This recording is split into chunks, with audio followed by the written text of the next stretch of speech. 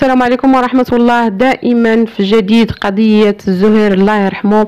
فالمفاجأة اللي كانت اليوم هو أن الأب ديالو حضر في هذه الجلسة هذه اللي جا من الديار الإيطاليا جا البارح وتيصرح بأنه راه مريض. ما قدرش أنه يتيق بأن ولده راه تقتل بواحد الجريمة اللي هي بشعة.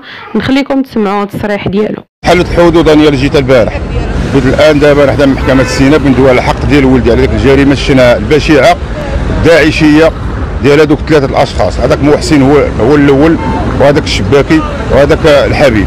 الفيديو أنا شفتو غنمرض. إلى درجه مشيت عند الطبيبة ديالي أنا خرجت لي الدواء تما خرجت لي ديال النعاس. طبيب نفساني تاع النعاس. خرجت لي 30 تقطيرة وما كنعش. وباقي الآن ما هو ماشي هو هذاك حتى ناخذ حق ولدي نتمنى أن العدالة ما تخدمناش وتصدر بالحكم ديال الإعدام باش يشفى غليل هذا الأب. وكذلك الأم وجميع العائلة وجميع المغاربة اللي كيتسناو بفارغ الصبر الحكم ديال الإعدام اللي طالبوا به الجميع ديال المغاربة.